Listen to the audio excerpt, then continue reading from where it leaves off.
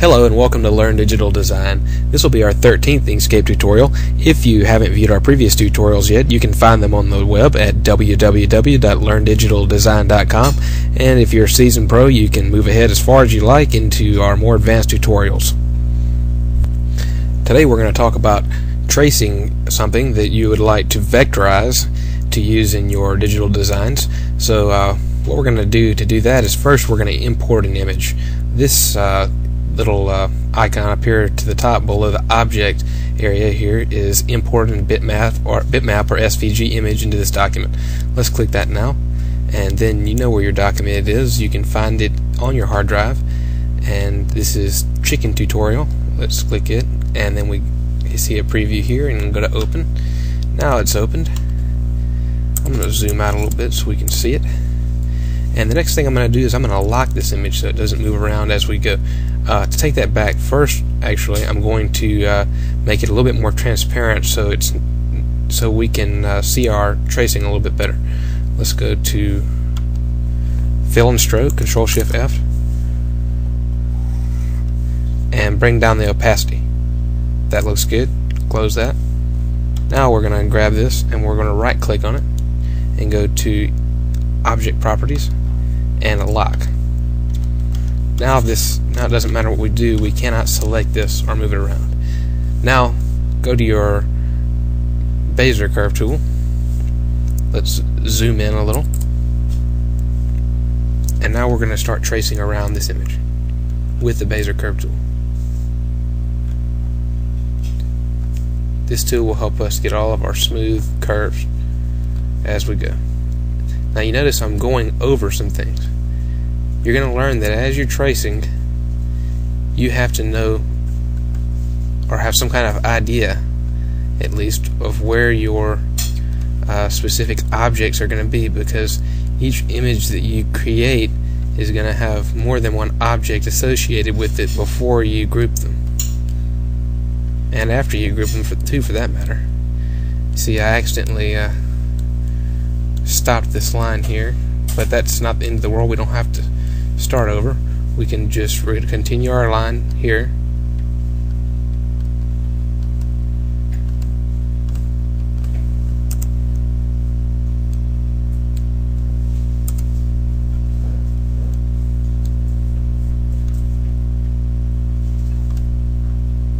And you see I'm not needing to do a whole lot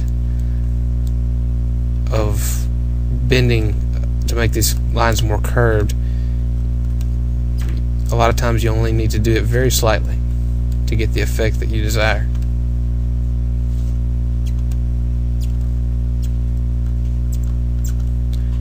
I am using a graphics tablet with this, so I might be able to do it a little bit faster than those of you who only have a mouse. If you're going to get serious about digital design, I would uh, highly recommend that you invest in a graphics tablet. You can find them out there for not very much at all nowadays.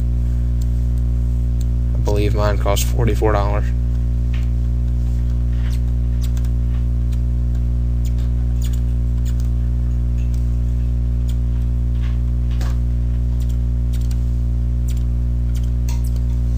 Now we have the chicken's body traced out here.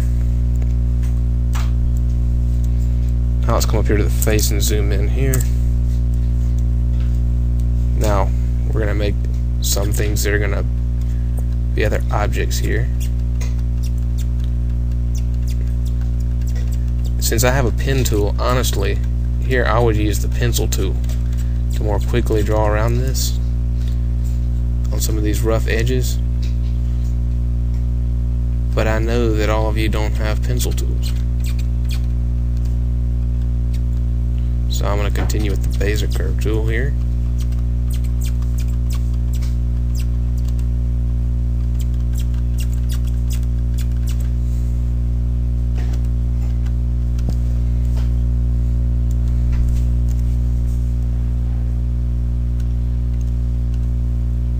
This uh, beak here is going to appear to overlap this other object that I've already created, but that's okay because it's actually going to be behind that object when we're done. To do these eyes here, I'm just going to grab a circle tool and then make another circle inside of a circle, like this and we'll come back later and adjust these sizes for the inside of the mouth. I'm just going to take my Bezier curve tool here and draw the mouth like that. And at the end of this line I'm just going to press enter zoom out. Let's come to this wing here. This is going to be a little bit different type object than the body or the beak because on this object I'm not going to close it off at the end. I'm just going to leave it open. Enter.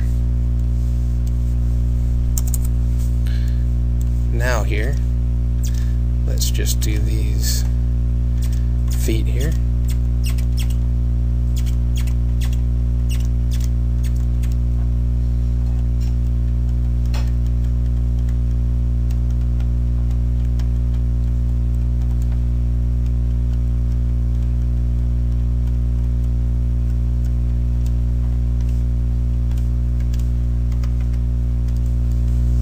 There's one.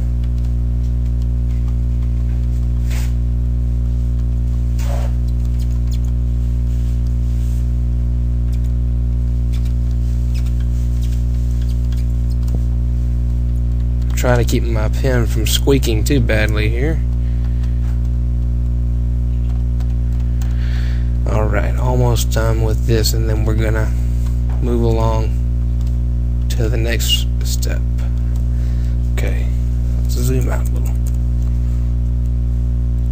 see what we've got here. Alright, and here's the finished product so far. We're going to pick this up in the next tutorial, number 14. I'm trying to keep these tutorials as close to 5 minutes as possible. So in the next tutorial, we'll go over starting to put some fill into this and uh, making it look a little bit more like a chicken.